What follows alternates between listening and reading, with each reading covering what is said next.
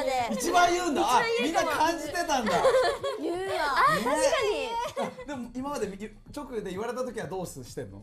流してんの？確かに。あこいつこの人やだなみたいな自慢する人だなって いつかロガールで言ってやろうと思って。今日言ったと。ちょっとねそその思いがねあまりにも溜まりすぎて吐き出しましたあじゃあ別に怖い。怖い。そんなしょっちゅう結構多いの？のでも結構あります。なんか